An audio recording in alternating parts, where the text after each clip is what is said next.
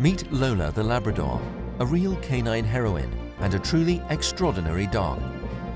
Together with her handler Christian, Lola helps find earthquake victims and missing people.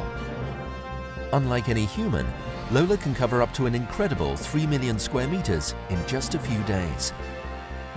Click to watch Lola's full story and subscribe to the Eukanuba channel for more amazing stories, expert advice and extraordinary dogs.